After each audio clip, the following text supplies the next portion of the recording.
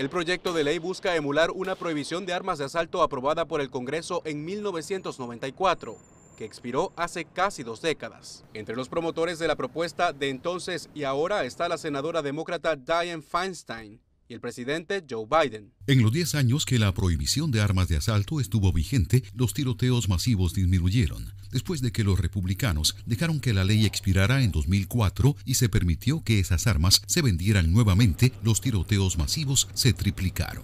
El proyecto presentado este lunes busca prohibir, entre otras cosas, la venta, fabricación, transferencia e importación de 205 armas de asalto de estilo militar así como cargadores y otros dispositivos que contengan más de 10 rondas de municiones. La iniciativa de la bancada demócrata contempla además profundizar la verificación de antecedentes a los compradores y aumentar la edad mínima para adquirirlas de 18 a 21 años. Los portadores de armas de este estilo podrían mantenerlas, según el borrador. El presidente Biden instó al Congreso a actuar rápidamente y aprobar la ley recalcó la portavoz del mandatario este martes. Pero la propuesta tiene pocas probabilidades de ser aprobada en un Congreso dividido, en el que líderes de la bancada republicana en las dos cámaras se oponen a la medida argumentando los derechos consagrados en la Constitución. Hay mucho que podríamos hacer para que las personas estén más seguras. Los demócratas no quieren eso. Quieren desarmarte a ti, ciudadano respetuoso de la ley.